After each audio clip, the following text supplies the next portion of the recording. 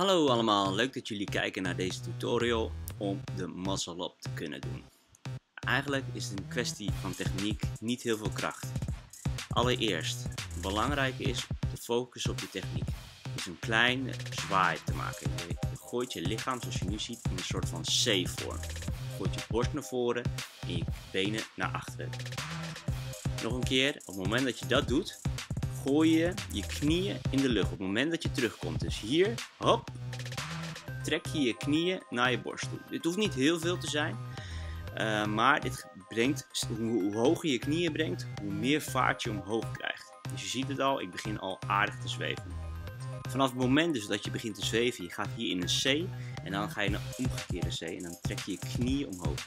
Hoe harder je je knieën naar je borst toe trekt, hoe eerder en hoe hoger je zeg maar naar boven toe vliegt. Dus het is het moment, van timing dat je zo snel mogelijk die, je, op het moment dat je jezelf optrekt, direct je knieën naar je borst toe trekt. En dan eigenlijk gewoon je lichaam eroverheen, over de bar of over de stang uh, heen te gooien.